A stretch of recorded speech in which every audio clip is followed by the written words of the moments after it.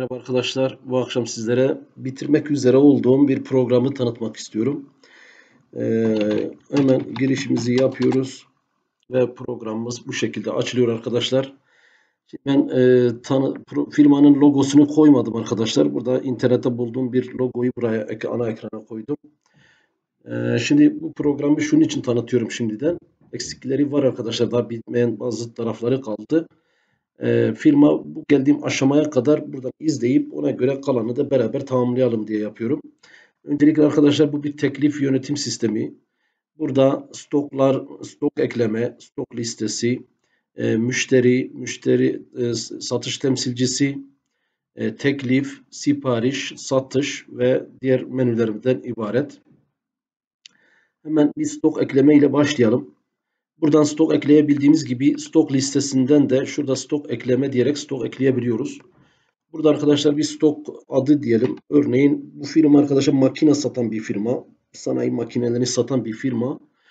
Ee, ama biz yine de bilgisayar malzemesi olduğunu düşünelim. Ya da ya da şöyle yazalım. Ee, geri dönüşüm makinesi diyelim. Yani yaptıkları makineler gibi. Geri dönüşüm makinesi modeli e, TRX400 olsun. Kafadan atıyorum arkadaşlar bunları. Burada birimlerimiz var. Adet, metre. Bunlar ayarlar sayfasına girilebilir. KDV oranı, para birimi, TL mi, Euro mu, dolar mı vesaire. Bunlar yine ayarlar sayfasına girilebilir. Biz yine TL olarak tanımlayalım. Bu makinamız 350 bin olsun. Şimdi bunun teknik özelliklerini yazacağız arkadaşlar. Mesela ne yazalım? Full otomatik ekle. Ondan sonra e, çevre dostu. Neyse aklıma pek fazla bir şey gelmiyor ama teknik özelliklerini istediğimiz kadar girebiliyoruz. Stock kaydet diyerek kaydettik arkadaşlar. Dikkat ederseniz burada teknik özelliklerini de buradan görebiliyoruz. Son bir makine daha tanımlayalım. Ee, öğütme makinesi olsun. Bir makine var mı da bilmiyorum. Modeli TR600 olsun. Ee, birimi adet KDV oranı %8 olsun. Bu sefer para birimi yine TL. Satış fiyatı 400 bin. Teknik özellikleri ee, ne diyelim? Elektrik tasarrufu. Ee, elektrik tasarruflu diyelim. Ondan sonra ne diyelim başka? Öğütme makinesi. Elmas dişler olsun. Dişli. Aklıma bir şey gelmiyor arkadaşlar. Kusura bakmayın. Nasıl bir hayali makine? Evet. Dolayısıyla bunları tanıttık. Gördüğünüz gibi hem teknik özelliklerini görebiliyoruz hem kendilerini görebiliyoruz. Burada sıralama, stok koduna göre sıralama, adına göre sıralama, gerçi sıralı, modeline göre sıralama gördüğünüz gibi sıralayabiliyoruz. Burada stoğumuzu gr yazıp bakın stok arama yapabiliyoruz. Tümünü listeleyebiliyoruz. Güncelleme istediğim zaman güncelleyebiliyoruz. Mesela buradaki çevre dosunu sileyim. Kaydı güncelle diyorum. Geri dönüşüm makinesinin bakın şöyle full otomatik tek kaldı özellik olarak. Ee, sil dediğim zaman silebiliyoruz. Burada yapabileceklerimiz bu kadar. Stok listesi, stok ekleme bu. Şimdi gelelim müşteri eklemeye. Yine müşteri buradan direkt eklenebildiği gibi müşteri listesine gelerek burada müşteri ekle diyerek müşteri ekleyebiliyoruz. Ee, müşteri adı ünvanı mesela Sasco Teknik Hırdavat olsun. Vergi dairesi e, Batman. Vergi numarası şöyle olsun. Yetkili Adnan Bey olsun. Telefon numarası Telefon numarası girdik. Ee, nokta gmail.com şehir bat ve e, Batman'ı buradan bulamıyoruz. Şuradan Batman ülke Türkiye Ondan sonra kaç gün vade veriyoruz bu müşterimize? Bu müşterimize 180 gün vade veriyoruz. Adresi Batman olsun. Önceki bir işlemi var mı yok mu? Varsa örneğin 20 bin liralık ya da 200 bin TL'lik bizimle işle, iş yapmıştık geçmişte. Hani müşteri tanımak için kaydet diye müşterimizi kaydettik.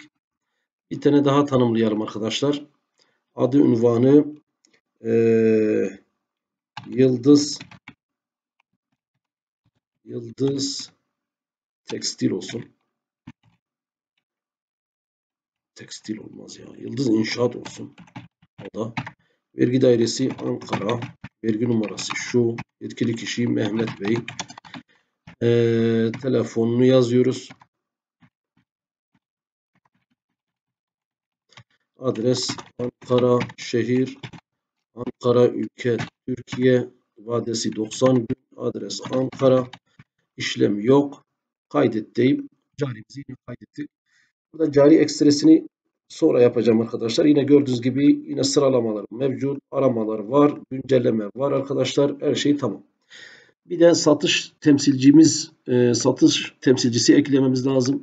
Burada temsilci ekle diyorum. Örneğin Ali Taş olsun. Departmanı, satış, ünvanı, satış temsilcisi e, primi yüzde dört ya da yüzde üç kaydet diyerek bu satış temsilcimizi ekledik. Gördüğünüz gibi temsilcimiz burada teklif sayısı her şey sıfır gördüğünüz gibi. Bir tane daha ekleyelim. Ayşe Yılmaz olsun. Departmanı yine satış, satış uzmanı olsun.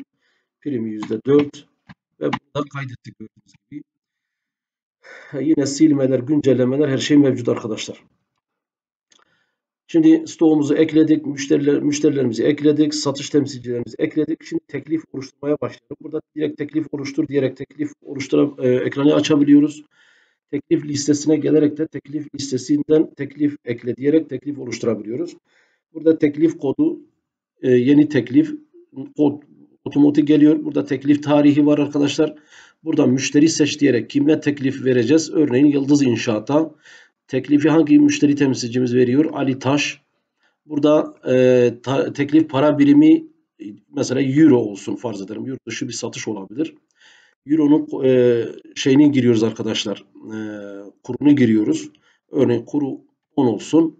Buradan ekle diyerek geri dönüşüm. Bakın şu anda bu 350 bin liralık 350 bin TL'lik bir ürün var. Bunu seçtiğim zaman otomatikman 35 bin TL e, Euro'ya çevirdi. 35 bin Euro'ya çevirdi gördüğünüz gibi buradaki kura göre. Örneğin ben kuru 5 yaptığım zaman şu ürünü seçtiğimde bakın 70 bin lira olarak hesapladı. 2 adet makine e, siparişi var. İşte teklif vereceğiz. Ekle dedim. Bakın otomatikmen toplam 140 bin. KDV 25.200 genel toplam 165.200 oldu. Bir ürün daha yazalım. Mesela şundan da yine bir ürün bir adet gördüğünüz gibi hesapladı. Bu müşterimizin 90 günlük vadesi vardı tanımladığımız zaman. Burada ödeme şekli peşin mi çek mi? E, teslimat şekli X-Work, DAB ve Sift. Onu kendileri söyledi bana. Bu tür teslimat şekilleri var. Bunlar ne olduğunu da tam bilmiyorum. Örneğin şunu seçiyoruz. Teslimat süresi 120 gün. Gelip arkadaşlar anlaşma şartlarını belirliyoruz. İşte anlaşma şartlarında ne diyoruz? 2 ee, yıl 2 yıl yerinde servis. Ee, ondan sonra hatta burada peşin değil de çek yapalım. 4 farklı çek ile e, 180 günde ödeme vesaire tek, anlaşma şartlarını da tamamen yazıyoruz buraya. Açıklamayı da yazdıktan sonra teklifimizi kaydediyoruz ve teklif kaydediliyor arkadaşlar. Şimdi hemen buradan e, satış temsilcimize geldiğimiz zaman burada Ali Taş'ın bir tane teklif verdiğini buradan görebiliyoruz. Bekleyen teklifi bir adet arkadaşlar. Şimdi burada e, teklif süreci buradan süreç güncelle diye bir e, butonumuz var. Örneğin e, firma firma fiyatı revi, fiyat revizesi istedi. Hangi tarihte bunu istedi? Örneğin ayın 19'unda biz kendileriyle görüştük. Fiyatın revize olmasını e, istediler. Yapılmasını isteyen yani fiyatı bir indirmelerini istediler. indirmemizi istediler. Böyle bir süreci uyguladık. Ee, Tabi istersek hemen buradan güncelleme yaparak fiyatı güncelleyebiliyoruz arkadaşlar. Ee, süreç devam ediyor. Ayın 22'sinde işte hafta e, ya da 25.02.2021'de e, e, e, teklifin onaylanacağı onaylanacağı bildirildi vesaire vesaire. Ne tür süreçler devam ediyorsa bütün bu süreçler bu şekilde kayıt altına tutuluyor arkadaşlar. Yani bir teklif burada bir sürü teklifimiz var. Bu teklifin ne aşamada görmek için buradan aşamaları görebiliyoruz.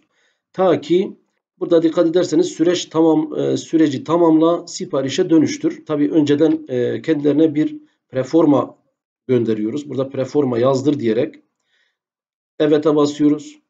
Masa üstüne e, PR diyelim ve masa üstüne gönderdi. Bakın preformayı açıyorum. Ha, burada dikkat ederseniz preforma faturamız bu şekilde arkadaşlar.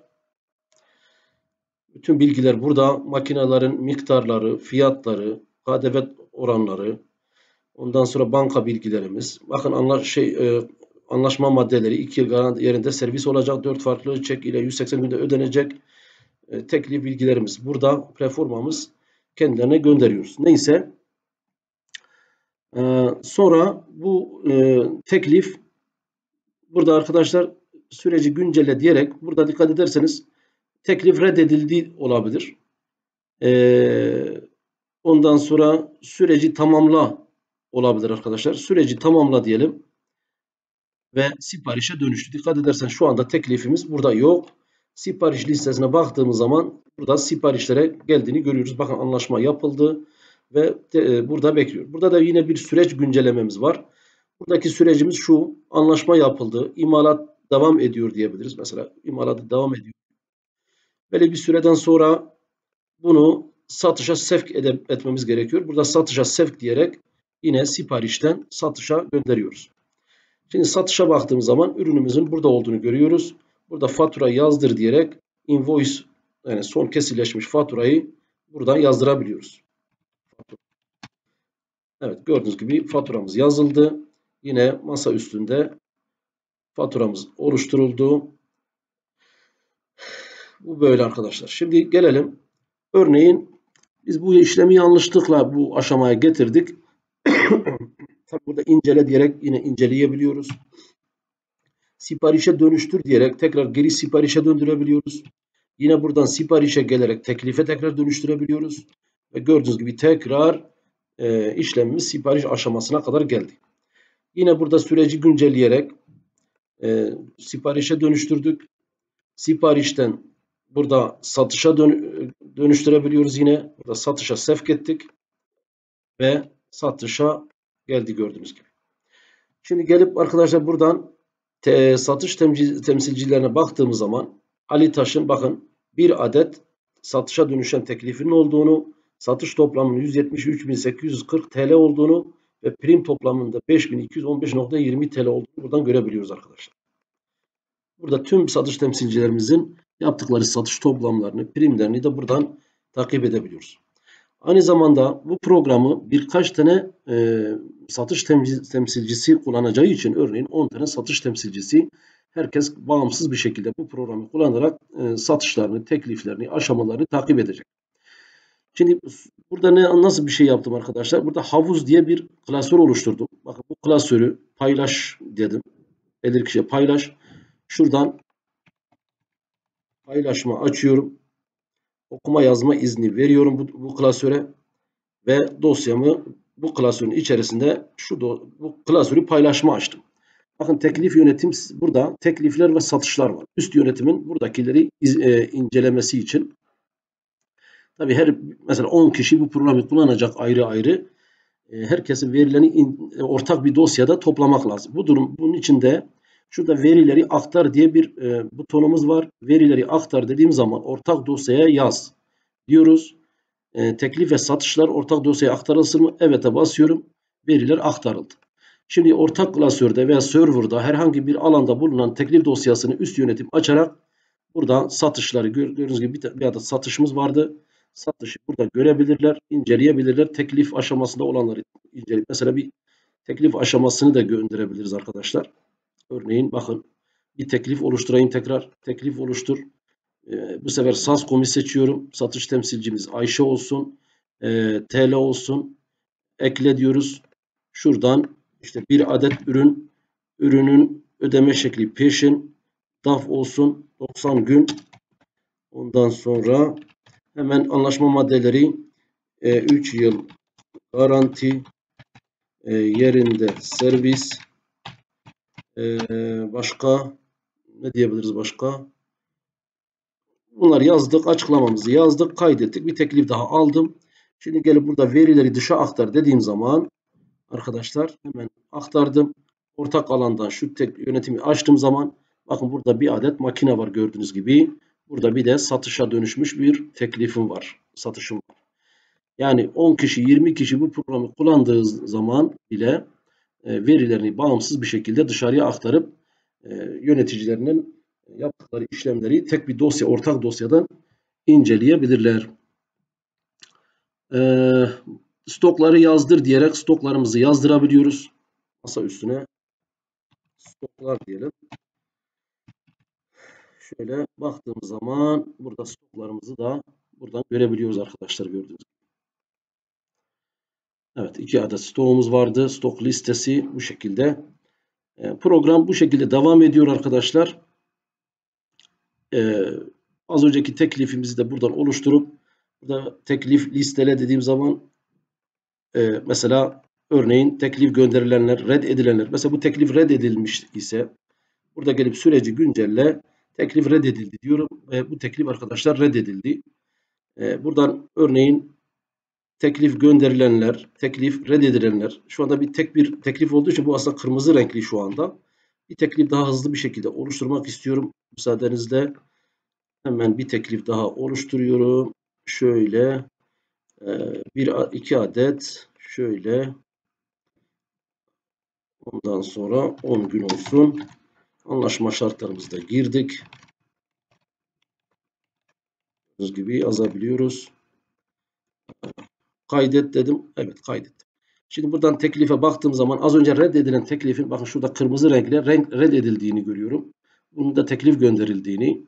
Bu reddedilen teklifi tekrar e, teklife dönüştür diyerek tekrar teklife dönüştürebiliyorum. Gördüğünüz gibi bakın artık teklif gönderildiye dönüştü. Yine reddedebiliyorum. Siparişe dönüştürebiliyorum. Bu şekilde ilerleyebilir. E, e, aynı zamanda yedek alarak programın yedeğini alabiliyorum. E, varsayılan yazıcımı buradan seçebiliyorum. E, son durumu kaydedebiliyorum arkadaşlar. Program bu şekilde eksikleri de tamamlandıktan sonra mükemmel bir şeye dönüşecektir arkadaşlar. İzlediğiniz için teşekkür ediyorum. Programa ihtiyacınız varsa bstkanalı.gmail.com üzerinden iletişime geçebilirsiniz. Böyle bir programa ihtiyacınız varsa hepinize teşekkür ediyorum. İnşallah e, yakında yine dersler e, derslere kaldığımız yerden devam edeceğiz. Geçen hafta ders işleyemedim arkadaşlar özel işlerden dolayı. Hepinize hayırlı akşamlar, hayırlı geceler diliyorum.